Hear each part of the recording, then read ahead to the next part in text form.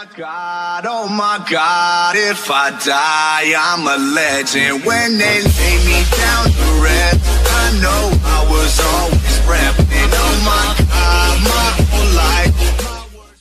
Assalamualaikum, bertemu lagi kita di channel video kami. Bagi yang baru singgah di channel kami, selamat datang diucapkan. Terima kasih kerana sudi singgah di channel kami. Kami hanya akan menyampaikan isu viral dan berita terkini sahaja.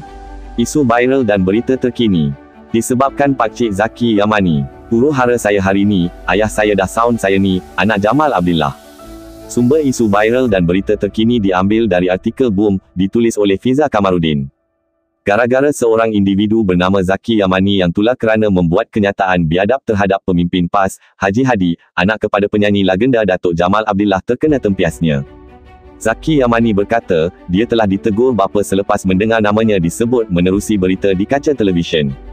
Menerusi perkongsian Zaki Yamani di Instagram, IG, menunjukkan Jamal meminta anaknya supaya lebih berhati-hati mengeluarkan kenyataan.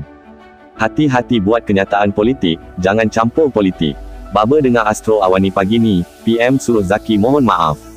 Lepas ni jangan over dan kontrol sikit, lebih baik berdiam takut makan diri, tegur Jamal menerusi laman sosial WhatsApp.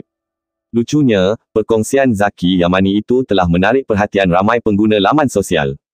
Kepada Pakcik Zaki Yamani, awak dah buat saya kena marah dan huru harakan nama saya hari ni.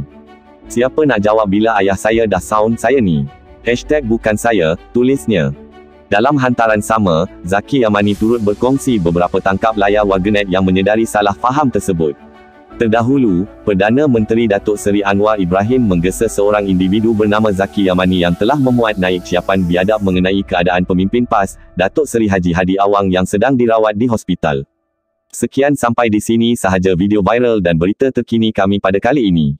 Jangan lupa like, subscribe dan share channel video kami. Jumpa lagi di video viral dan berita terkini yang seterusnya. Sekian dan terima kasih.